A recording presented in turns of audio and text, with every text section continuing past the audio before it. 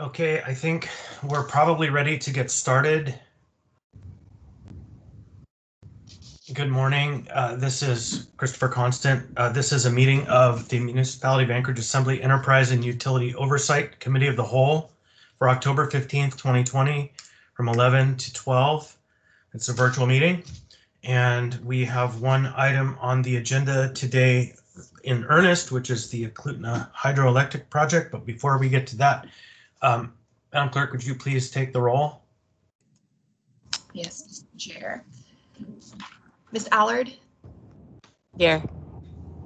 Mr. Constant, Here, Mr. Dunbar,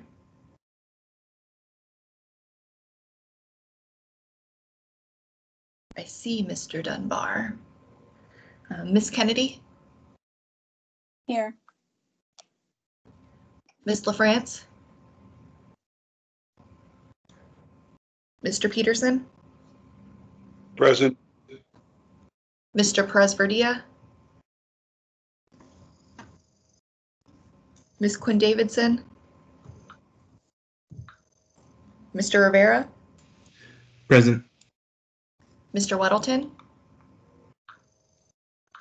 Ms. Zaletel. Here.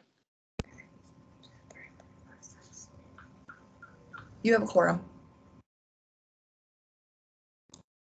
Thank you. So we are prepared now to take on the question of the report from Chugach Electric on the Eklutna Hydroelectric Project.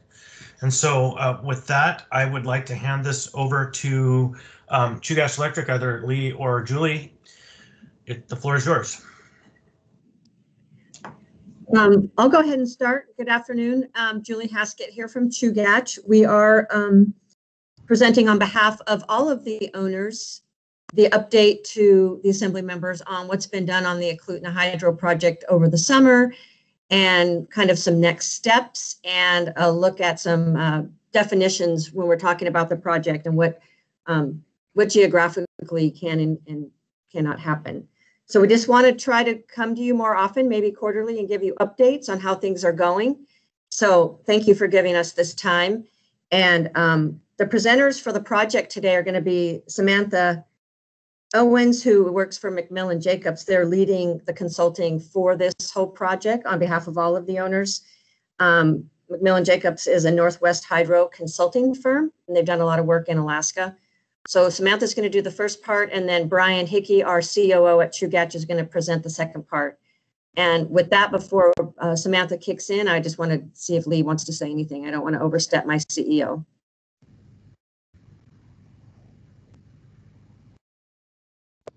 Believe you're I on can figure out How to mute. run this thing. Anyway, I just want to welcome everybody. Um, it's, it's a privilege to be able to keep the assembly um, updated on this important project. And just if you guys questions, please just raise your hand and let us know what they are. So anyway, take it away, Samantha.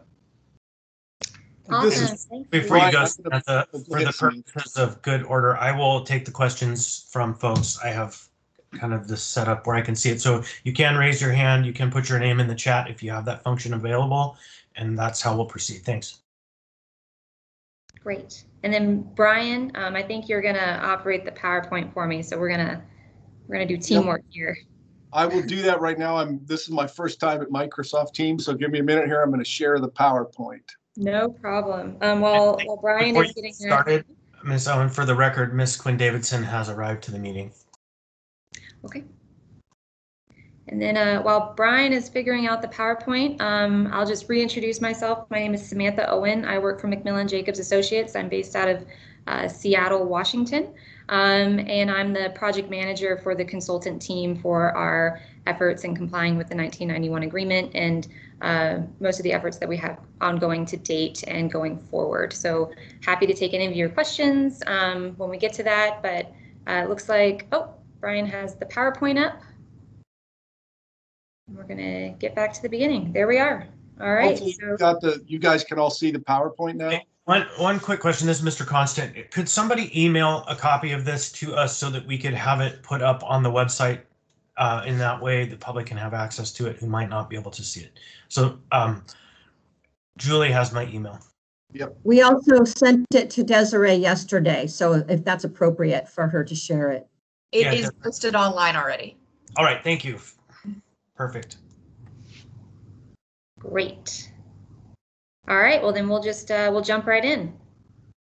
Um, so like Julie said, we're gonna provide you an update on the activities that we've, uh, that we've conducted since February 2020, the last time, uh, the project owners got to give you guys an update on what's going on. Um, and then Brian is gonna give you a review of the project facilities and operations.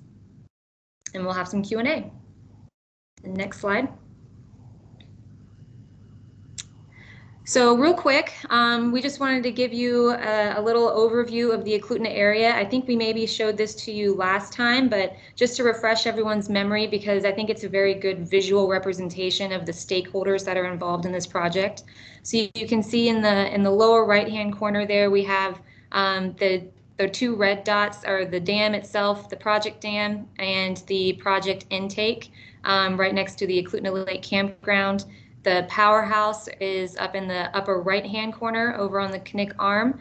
And then you can see the Eklutna River coming out of Eklutna Lake um, and all the other things we have going on in the basin. So we have AWU's um, pipeline and tunnel that branch off of the power tunnel and go down the river and up to the AWU water treatment plant. Um, we have the the old dam site that's right there next to the the AWU power treatment plant or water treatment plant.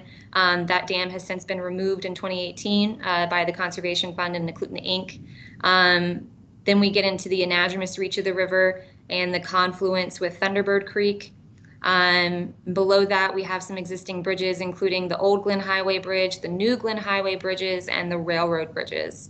Um, over in the tail race area by the powerhouse, we also have um, the Eklutna Salmon Hatchery, which is owned by Cook Inlet Aquaculture, um, but currently is not being operated as a full uh, for production purposes. It's actually being used by ADF&G for um, for about three weeks out of the year uh, for for stocking that tail race for the Eklutna Tail Race Day Use Fishing Access Site that's also maintained by ADF&G and it is a very popular fishery up there.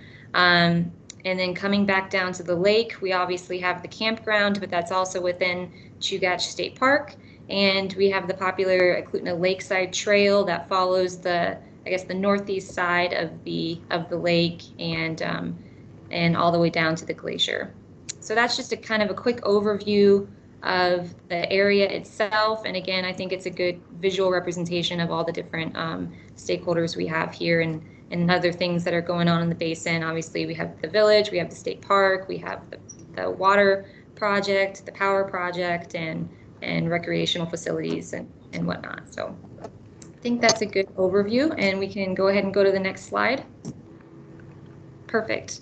So um, shortly after we met with you guys in, in February, we added some additional technical experts to our team uh, to expand our project team.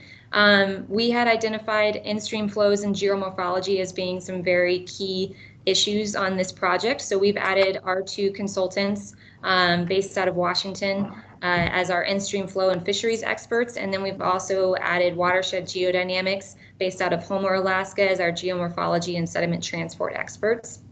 Um, and we also beefed up our meeting facilitation and communications team. We have Allie Harvey with Information Insights as our meeting facilitator. And then we have Joy Huntington, who's on the phone today, as um, our stakeholder and outreach support uh, and specialist. Um, the project owners have also committed to some uh, an enhanced status for the native village of Eklutna and have recently with, met with um, village uh, uh, elders and uh, the tribal council, I believe, and, and had some ongoing discussions with them, and we're continuing consultation with the village. Um, and we'll we'll talk more about that later, but we just uh, wanted to point that out here. So, next slide. Perfect. Um, one of the big things we did earlier this year was we developed an initial information package. Um, this is essentially just a compilation of all the existing relevant information. So um, the historical development going on in the basin, things re uh, related to the project operations and facilities, um, the existing environment, including fisheries, hydrology, geology, recreation, land ownership, land management, um, cultural resources, uh, and and impacts of the project on uh, those fish, uh, those resources, and then potential um, mitigation measures that have been suggested by others thus far. So this was really just kind of our jumping off point to get everyone on the same page, make sure we're all working with the same basis of information and, and get all that information into one place so it's easily accessible for everybody. Um, the draft IIP and reference documents were uploaded to the project website in March.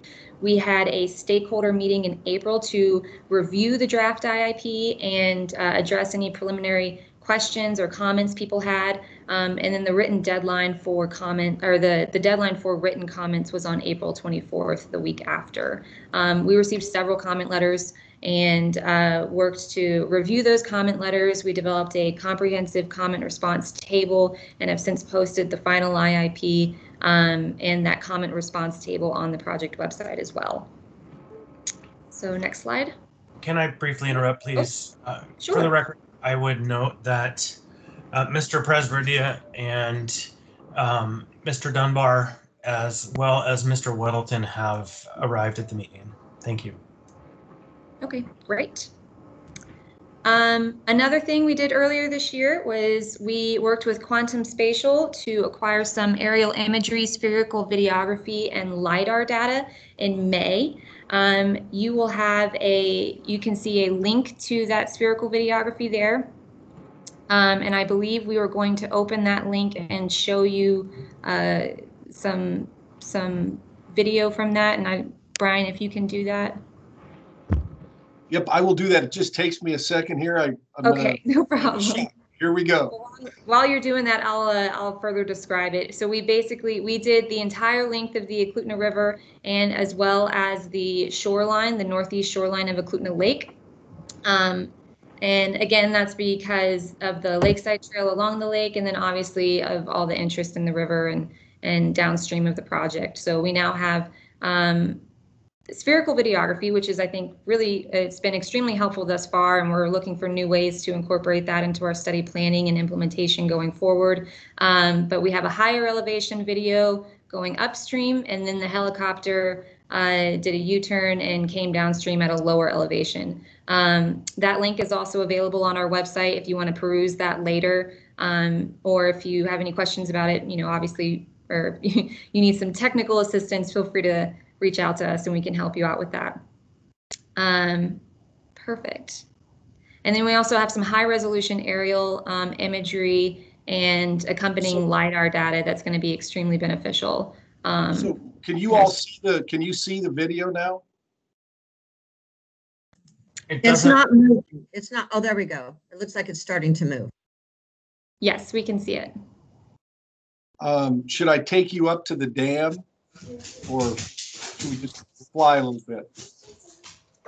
Um, I think there were, so this gives a good kind of view of what you can see. Uh, Brian, if you could kind of move the, the video around so people get the spherical, the spherical effect. There we go. Yeah, so it's basically a 3D video, right? You can pause it, you can slow it down, you can move it around just like you would in, say, Google Earth or something, and and basically just take a journey, a, a virtual site reconnaissance, if you will, up the river um, to to see this area that people are so passionate about. Um, and then I think there were a few areas that uh, Julie wanted us to point out.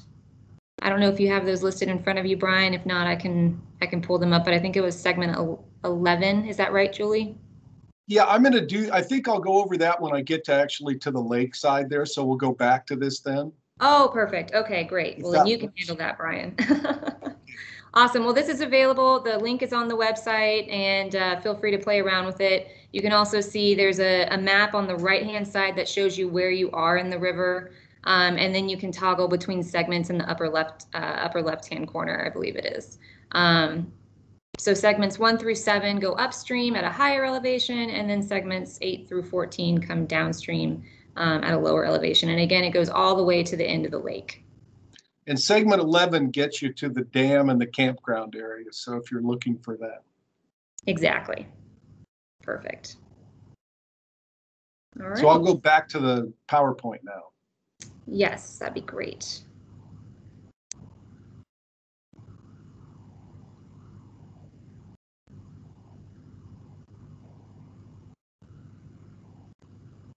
Awesome, perfect. Um, yeah, so I think that covers that and we can go to the next slide. Just takes me a second here. I'm waiting for my screen to catch up. Uh, is your computer catching up? There we up? go. There we go. Perfect. All right.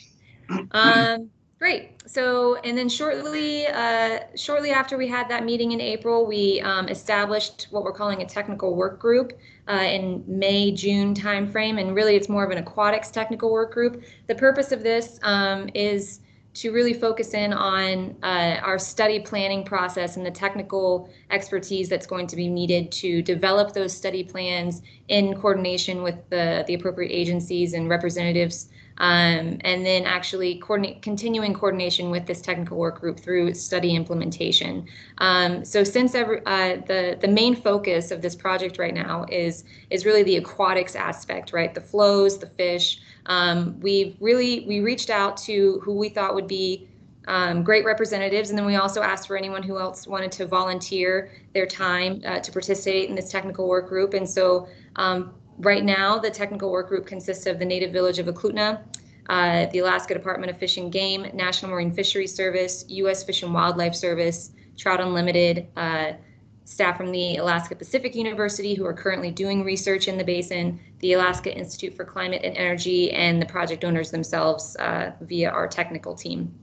Um, and we have representatives, one or two representatives from each of these entities, and we've been meeting on a regular basis thus far. Um, we're also looking to expand our technical work group for some uh, infrastructure related studies that we're going to talk about later.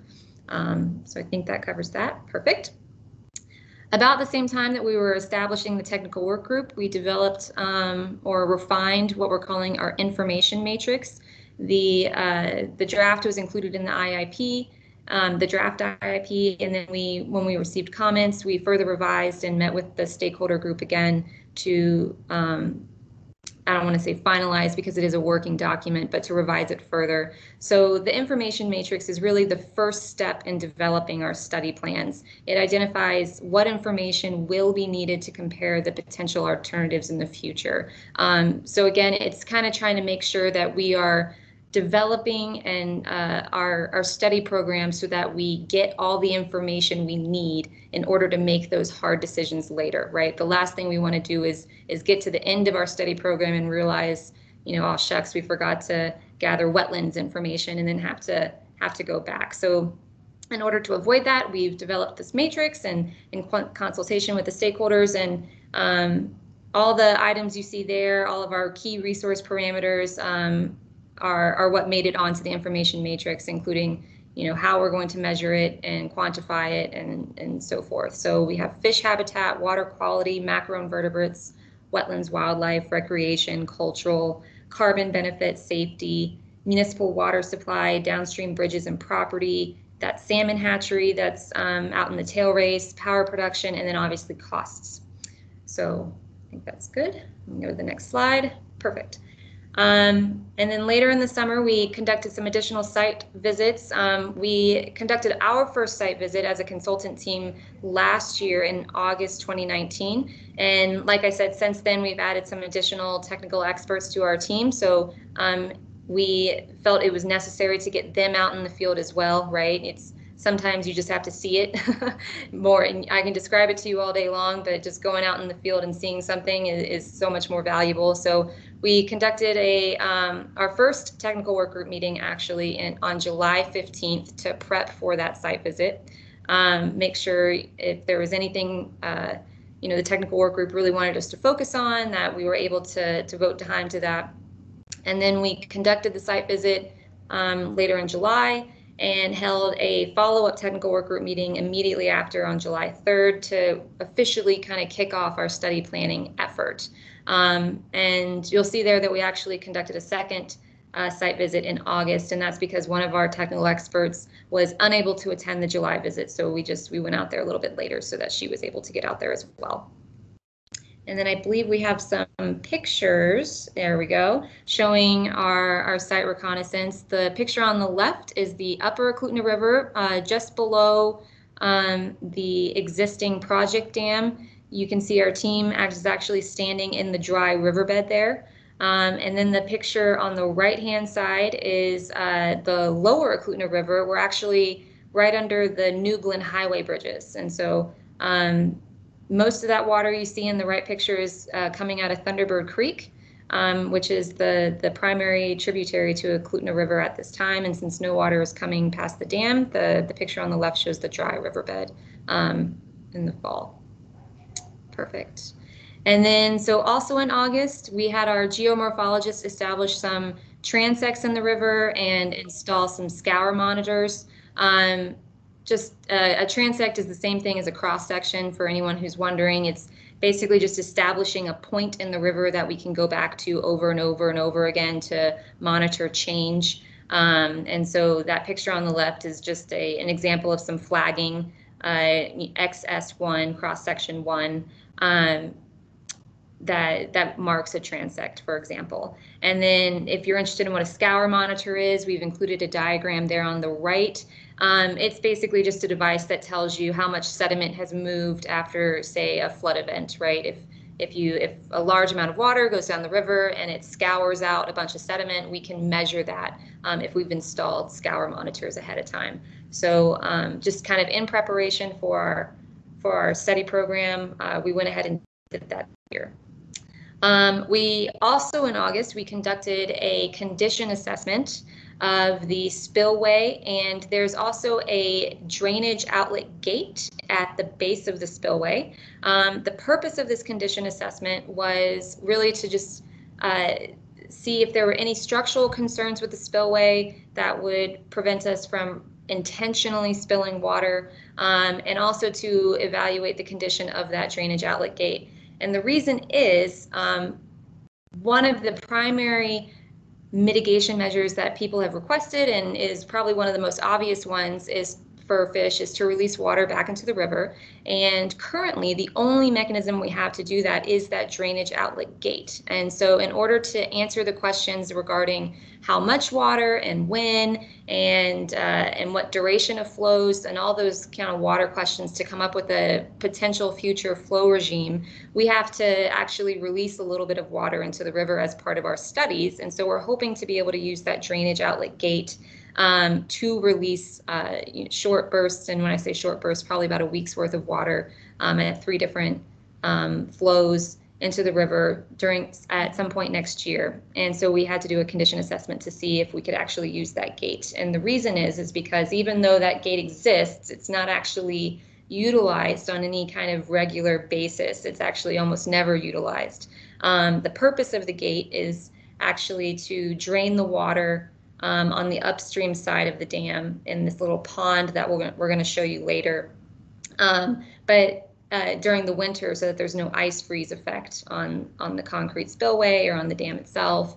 Um, but it that gate hasn't actually been fully opened in, in several decades, I believe it is. Um, it looks like someone has a question when I'm finished. Perfect. Uh, okay, great. And so one thing we did find out was that uh, there's really no, there are no big structural concerns with the spillway, so that's great.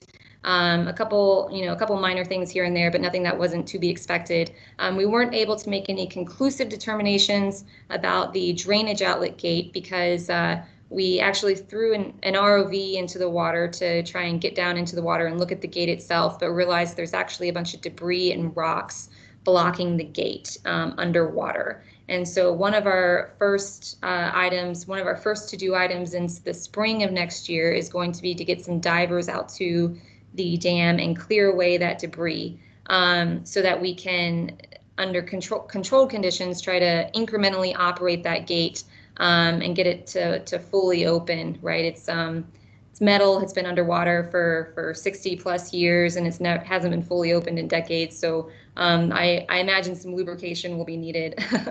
but um, and then we're also going to be installing a trash rack in front of the gate um, to ensure that if any more debris does build up, you know, it wouldn't get stuck in the in the gate when we do open it. So assuming we can do all three of those things in the spring, clear out the debris, fully operate the gate, and install the trash rack, um, it's our our belief that we should be able to use that gate to release flows um, next year for study purposes. And oh, there we go, another good picture. So that's kind of standing on top of the on top of the dam, looking upstream towards the lake over the spillway. And you can see there's kind of where Mike's uh, pointer is right there. That's how you would actually access that gate. There's a kind of a little manhole that someone has to crawl down into and manually uh, manually open that gate. So there's no uh, power out there currently, and and that's one of the restrictions that we're we're trying to work around. Uh, Why don't we take Mr. Dunbar's question, if you don't mind, Perfect. Forrest? Thank you, Mr. uh, Chair of the committee. Um, Very uh, quickly, and I apologize if you sort of said this, but I missed it. Um, So some of our advocates this summer and last summer have been asking for what they call a flushing flow. Uh, Mhm. Is that, is, i- are these three short, you know, three week-long flows, are those equivalent to what they're talking about when they say flushing flow? That's a fabulous question, and um, I'm actually going to get to get to some of that later, but we can start to answer that question now. So, um, really, one of the things we have to do is define what a flushing flow is. And talking to different people, we've heard all kinds of different numbers. You know, everything from 1,000 CFS down to 50 CFS. Um, when we talk about these controlled flow releases next year, and this is an approach we've discussed with the technical work group, um, those flow releases will be what we can put through that gate. And that gate can take up to about 190 CFS when the um, reservoir is full at the spillway crest. So currently we're proposing um, probably, I'm, I'm going to throw out some numbers there, but I'll say about 25 CFS, uh, 75 CFS, and maybe 150 CFS uh, flows in that range um, for next year. And each of those flows should last about a week. And then they would um, uh, and so three flows, one week each, um, probably next fall is what we're going to be hoping to achieve. Now, what we've discussed with the technical work group is being able to use the data that we collect from those flows to um, calibrate the models we're going to develop next year to determine if some kind of larger, what we're calling channel maintenance flow or flushing flow, um, is would be warranted for our study in order to help inform our future fish and wildlife program. And if so we can use that data to help better define what that flushing flow would be since we can't really define it at this point um, what would be needed. And then once we have that information we can work on possibly doing a larger flow or what we'll call spill event intentional spill event possibly in in 2022 um, so that's kind of our series of events that we've worked out with the technical work group thus far. Um, and uh, we have a lot of boxes to check between now and then, but that's that's our current trajectory. Thank you. Thank you, Mr. Chair. Okay, great. Wow. Dishes. What? I'm just. Oh, I don't, probably not. I do it every night. I try to collect all the dishes. Chris, uh, mute your- Are just a silly girl. today. Mr. Dun, oh, sorry. There we go. All right, great. So, um, perfect. So next, okay, here we go. We develop, we also developed our study program framework. Um, and this was based on that information matrix that we were talking about. And again, based on our technical work group discussions. Um, and the study program framework was really just a, a broad general outline of what studies we're going to conduct over our two-year period, which studies are going to be initiated in year one versus which studies were going to be initiated in year two.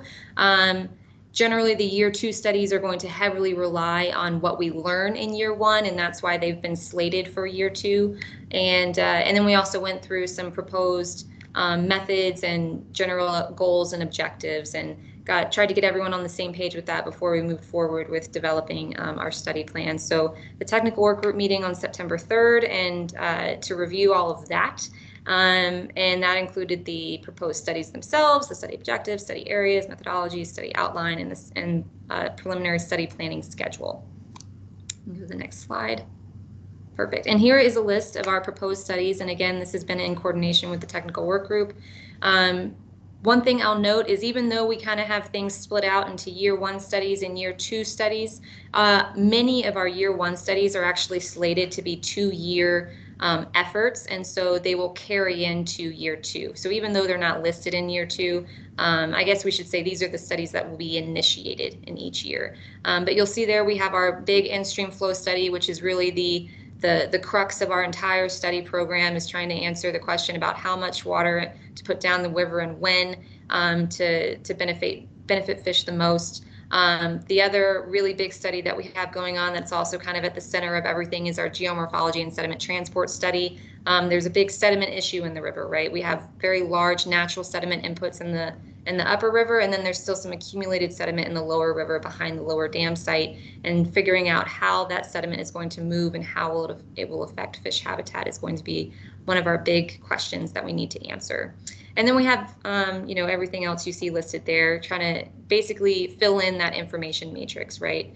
Uh, water quality, macroinvertebrates. Um, you can see recreation, wildlife, wetlands, cultural, that's represented in year two. We also have a suite of our um, engineering type studies, our infrastructure assessment, hydro operations modeling, engineering feasibility and cost assessment, um, lake shoreline erosion, all that good stuff. So just really trying to make sure we do a comprehensive effort in looking at um, all potential impacts and, and benefits for that matter. I'm gonna go to the next slide. Great. So flow releases for studies. here we're getting getting at your question here, um, Forrest.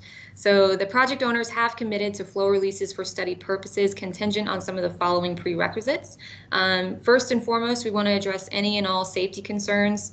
Uh, right, if we if we're releasing water from the dam and you know the general public is not used to water being released from the dam, uh, trying to make sure we develop the appropriate safety plans to make sure people are not in the lower river when we're releasing large flows down the river. Um, we need to define those flow releases, again, magnitude, duration, timing, and develop the study plans for them. Um, conduct condition assessment of the spillway and drainage outlet gate. Again, that's what kind of what we started to do earlier this year and will hopefully complete um, in the spring of next year. Evaluate impacts to existing fish habitat and utilization. Um, evaluate impacts to the downstream infrastructure. Uh, right, if we're releasing a flow flows into the river that are not um, normal, could they have uh, are not normal for the current flow regime? I guess could they have negative impacts on downstream infrastructure that has been built in the time that this project has existed.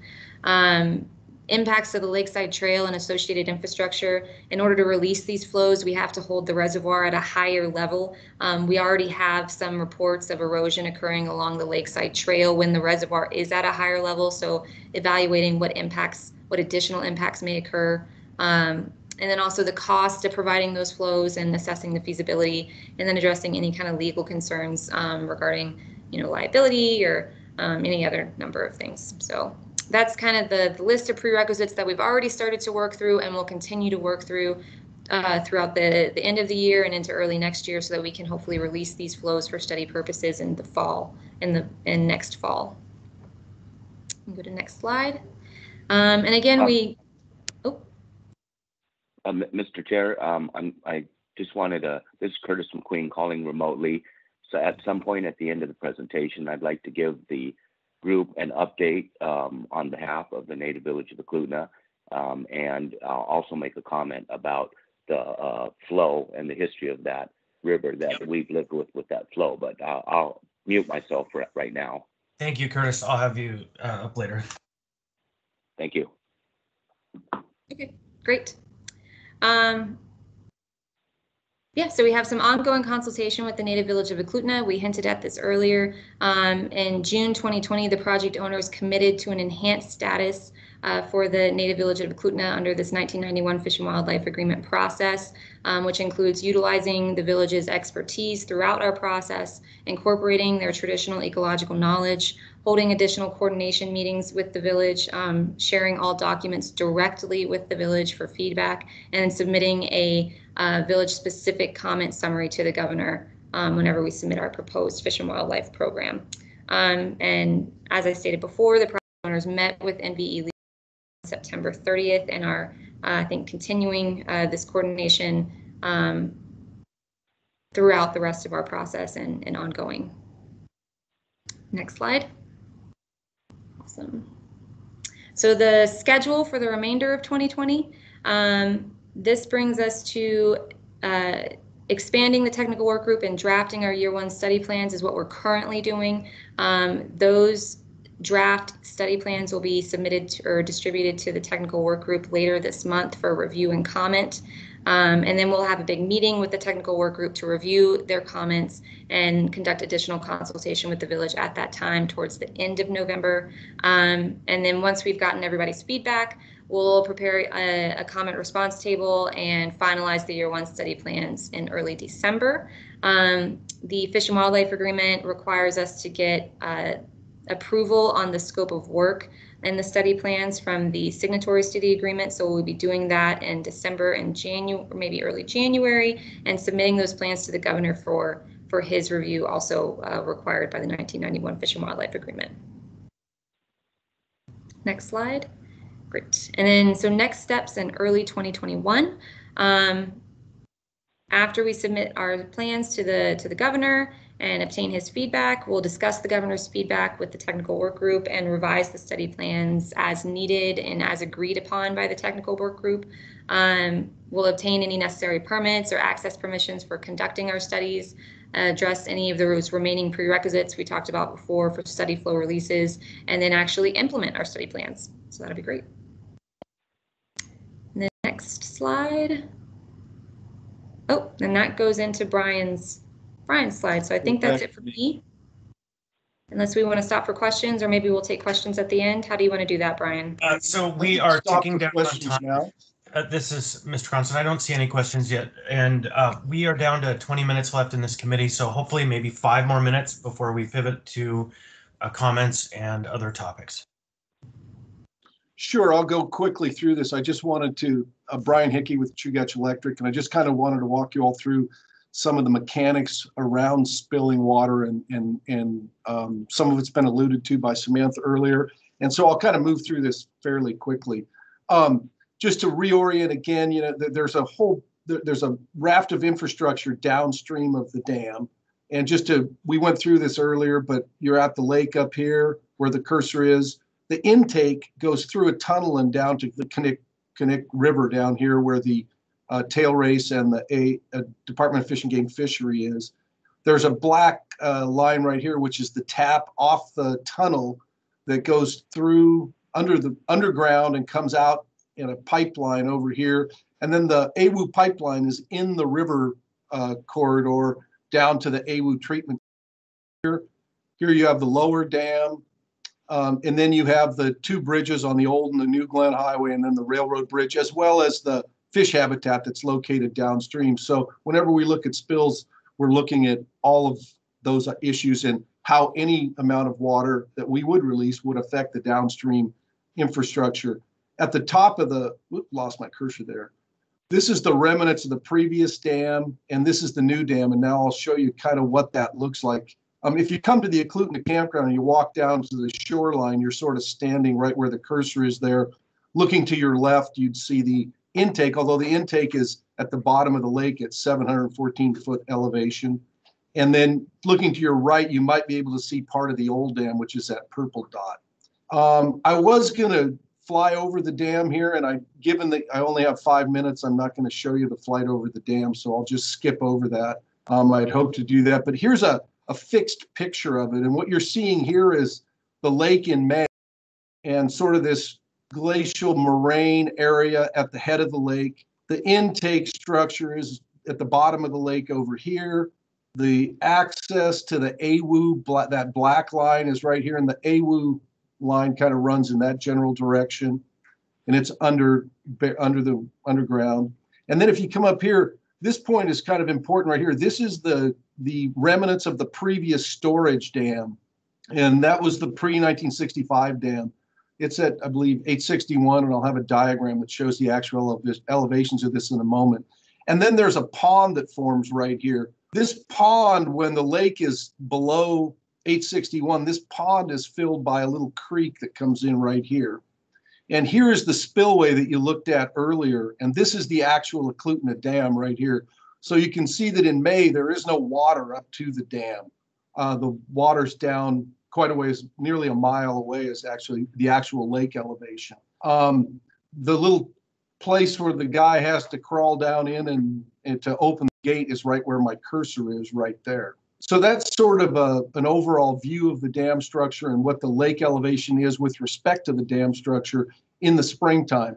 Today, the lake is at about 869. Uh, so it's 1.8 feet below spill. So this entire area would be filled up with water today that you see in the spring is empty. And so that's just sort of a, the most recent. And for the last two days, it's been going down about a tenth of a foot per day. Um, some key, key, um, elevations. I'm sorry, I've said seven fourteen. I meant seven ninety-four is the intake at the bottom of the lake. Eight fourteen is as low as we will run the lake, uh, lower the lake, and that's because of the uh, sort of a whirlpool that forms around the, the the intake structure and the possibility of maybe a kayak or something get getting caught in that. So 814 is as low as we will bring the lake down. 852 is the drainage gate outlet, and that's the, the gate that Samantha was talking about. And you can see that the crest of the national natural um, glacial moraine, that big area I showed you, as well as the old dams, is about at 860. So you have about an eight foot difference between the old dam and the and the actual gate. And I'll show you another diagram here that hopefully makes that a little more clear. Um, the spillway crest is at 871. That's where we would actually spill water through that uh, tunnel we looked at. And then the dam crest is at 891. Um, we talked about the 30 by 30 um, drainage gate, and I won't go into that in any greater detail other than it can release about 191 cubic feet per second when the water level is at the spillway. And that might be easiest to kind of bring all these numbers together on this diagram here. What you have here is just relative elevations on the left side here. The tunnel opening at 794 roughly, the minimum operating level for the lake at 814, the pond, the sheet pile elevation. And if you look over here, um, the original dam is represented by this red line right here, the pre-65 dam. And so the lake has to come up and come over that dam to actually fill up the pond that we looked at earlier here. Um, this represents, this red structure here represents the actual dam and the spillway kind of goes through here and down and drops into the Eklutna River where my cursor is running right there. So for us to spill water, we have to breach the breach the dam eh, or, or not breach the dam, but the elevation needs to come above 8, 860 and on up to 871, which is the spillway right here. And then water will flow over the top of the dam through the spillway. Alternatively, we can open that 30 by 30 gate, which is here at about 852, and you could let some water out. This curve that I see that, that's shown at the bottom here, which has along the x-axis, zero to 200 uh, cubic feet per second, and along the y-axis is lake level elevation going upwards. You can see that when the lake is at um, 871, you can put out about 191 cubic feet per second. As you begin to drain that pond or the lake level down, you will you, the the amount of water that can actually pass through that tunnel gets smaller and smaller until eventually it gets to zero when the lake level drops below when the water level drops below 852. So for us to actually spill water, first of all, we have to get it up over the old dam here, located here. Then we have to rate, let the lake level get above 871, and then we could spill water. If we were to open this gate, we could drain this pond and spill some water out of this pond, or we could wait till the lake was above the uh, above the sheet pile dam and then use this as well. The challenge we have right now, as Samantha referred to, is if a rock or something gets stuck underneath that gate, we may not be able to close it. And so we are working on that. As she said, we're going to send divers down next year to make sure we have a trash rack on the front of that and we've gotten anything out of the way that, that would potentially go in under it. Um, this is a picture again of that access point, and I won't go over that. This is a little bit of information, historical information on the dam, and and this is sort of the typical. Um, these are the curves of lake elevation. You have elevation on the left, and you have months of the year on the right, uh, on the lower axis, on the x-axis or the horizontal axis. And then you can see each color is a different year. And so this is sort of what Eklutna has done over the years. Um, one of the most interesting one is this this line right here, which I'll talk about on another slide. Um, and that's So that. I might interrupt. We have a question and we are really running out of time. So uh, I know that there are others that want to talk. So uh, Mr. Dunbar, you can grab your question.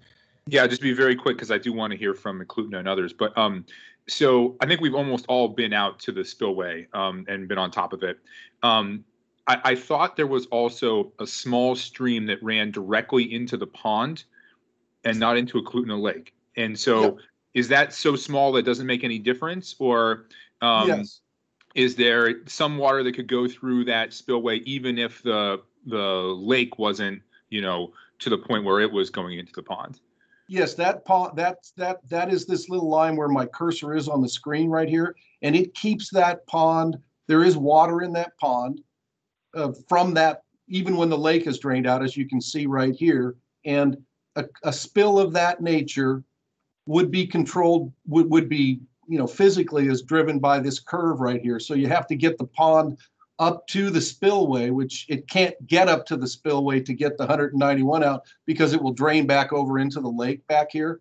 This is at 860 here and that's at 871. So at 860, you could potentially get a little over 100 cubic feet per second out at any given time. Does that make sense? I think so. All right, thank you. If I might, uh, from Julie, she suggests that we proceed to questions. And I want to let you kind of do your last key point here, but we definitely are down to 13 left, so. Sure. I'll just, I'll, I'll finish up here really quickly. I think the, the one thing, you know, the, the, the lake has spilled nine times since 1967. Um, and the one thing that I want to emphasize is once we get the dam up, get, get the lake up to the spillway, spills after that point in time are uncontrolled. Uh, we have limited ability to draw the lake down. You know, we can draw down about 0.9 acre feet per hour with both units running at full speed. So in an event like we had in, in, in 1995, you can see that over a period of a week, the lake went up 10 feet and spilled. That was the biggest spill I believe we've seen. We had about a thousand cubic feet per second going over the spillway. One of the challenges is once we get the lake up to that spillway, if we have a large rain event, there is no ability to, to limit that spill. It will be whatever nature um, intended it to be. And, and so there is a challenge there for us from uh, both from, from a, the perspective of what may happen to infrastructure downstream, including the existing fish habitat down at the lower river. So with that, I'll get to questions.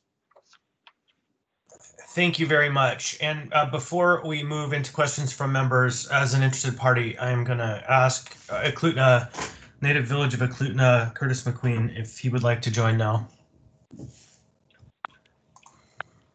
Uh, yes, uh, All right, you have the floor.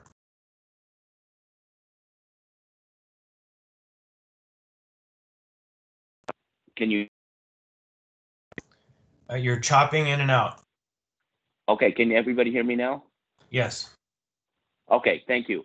Um, I'll, I'll try to be brief. Um, first of all, I want to commend the whole team and the utilities of what they've put together. It's been a very positive experience. I have been working um, with the Conservation Fund and with the Native Village of Eklutna. We had a fantastic meeting on September 3rd. Uh, it was started in April. The tribe sent a letter to the utilities wanting to be brought in as a stakeholder more formally, because in the 1991 agreement, uh, we the people were overlooked. Um, there's some technical and legal reasons that we're being told, and we understand that we are not going to be on the 91 agreement as a signee when it goes to the governor, but they have done everything they can to make sure that we're in the room and communicating. The tribe um, set up a meeting at the Native Heritage Center on September 30th. We had the three CEOs or two CEOs in the general manner, but uh, all utility executive team was there. Uh, so was Julie Esty and Julie Hasquet. Uh, and then interest from some of the utility board members. So we had a board member from MEA and we had two board members from Chugach, and we all recognized we're about to draw down to two utilities. The premise of the meeting was to let each elder and each tribal member of the council speak, and for about an hour, hour and a half, um, each council member got up in front of a mic, or if they were zoomed in, and spoke about what that river had meant to them as children, what it had meant to them um, now, and their hope to have water down that watershed. And it was a great experience. Uh, the utilities heard them, I mean, heard them clearly. And then we had the utilities come up and speak. And the question was uh, to the utilities, um, we need water and we need it now. And when, when can we have water? And will you at least commit and have an open mind at the end of this process, if not sooner, to get water down that watershed. The feedback we got, even though they spoke very carefully and due to legal reasons, uh, the commitment we all believed we heard from all of them was that yes, the goal would be to get more water down that watershed. So we felt good about that meeting. There is some fish that have made it above uh, this summer, have made it above the old dam that when, when I was at Eklutna, we took down. Um, Fish and Game has spotted it, so has the Conservation Fund. We found some coho that's gotten up. One of the big reasons we need more water uh, coming down is to make that river deeper because a lot of people don't realize or don't know it's a king salmon stream. We know all fish are important, but at least we know in Cook Inlet and in the valley and what king salmon and a strong run can mean. The tribe knows and is prepared to have to open that up to a public fishery at some point in the future when we get that river restored and it gets deeper water and the fish are back. They're prepared for that. Um, and that's going to be a good problem to have. Um, in the 15 years that I was CEO at Eklutna, we would occasionally get a call about a spillway. Usually I can remember Jim Posey or some of his members would call us and just give us a heads up that they were going to spill water down. And they and there was never any technical issue. Nobody ever got hurt. There was no damage to the roads or the bridges. And the villagers would notice when the water uh, level raised. And so now that there's a formal study going on and risk management is being addressed, we get that. But I just want to make sure everybody realizes that there has been spills uh, controlled and sometimes due to large storms. It's done no damage down there. And the request of the tribe is, and this year was, could you at least do a few spills to wash the remaining sediment out from where that old dam was taken down? For, for 80 years, there was a lot of sediment built up. We took that dam down. Naturally, some of that sediment sediment is coming down the stream now but a couple flushes of that uh, this year or at least next year can clear that out to get right down to the river bottom. I'll close by saying it's been a positive experience uh, for the tribe. I don't, I, I'm on the phone. I, I don't know if there's anybody else there from NVE, but I'm working with them and I was in the room. And so far we're feeling pretty good about the process, but we do need um, more water down that watershed consistently. With that, I'll, uh, I'll, I'll stop or answer any questions, but thank you for the meeting today. Uh, Thank you, Curtis. And um, and in the chat, uh, Ms. Hasquet from Chugach Electric says they're happy to provide more frequent updates to the committee. So it's not so much information at once. And I do look forward to scheduling a standing quarterly meeting.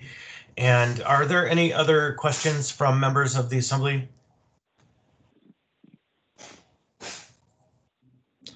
Okay, I haven't heard any. Are there any questions from stakeholders who have been involved in this process who would like to be recognized briefly? I have maybe one or two minutes.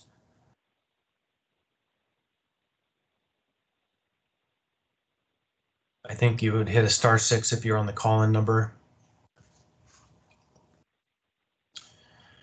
Hearing none, I think that I'm going to suggest that we submit your briefing as uh, accepted and we thank you. And um, I am not sure the next steps other than, like I suggested just now, Quest will, will work to set up a quarterly, much more consumable briefing.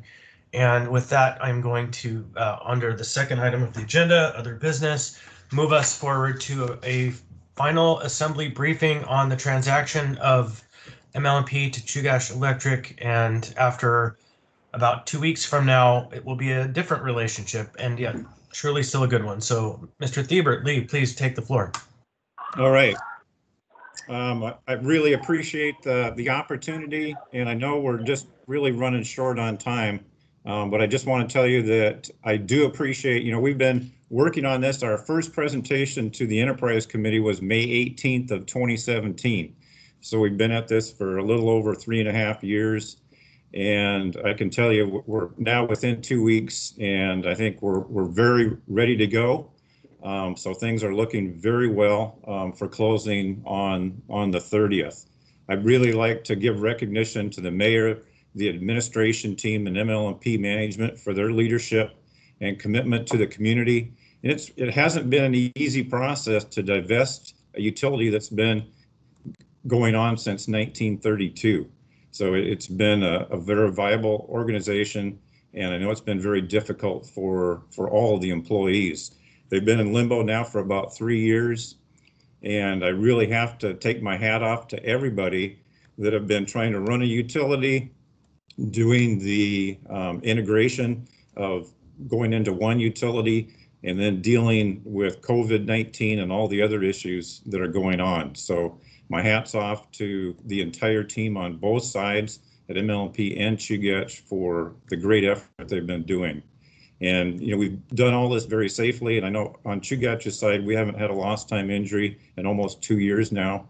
Um, so excellent, excellent record of everybody keeping in mind the primary importance of safety and reliability to, to the members. So I just want to thank, thank everybody. Um, really, like we said, in less than two weeks, we are going to be one Anchorage utility. Um, on the financing efforts, just to give you an update, um, we can't say a lot because of SEC um, regulations, but we have complied with the asset purchase agreement and you're free to talk to the administration, but we have things in place with financing. Um, I want to say a few things about kind of the immediate benefits that will come, and it's really going to be in on the fuel side. We're not going to probably do a rate case where you'll see any physical rate changes for until 2023, but you will start to see immediate benefits in fuel. So there is a $36 million credit that goes to the MLMP legacy customers.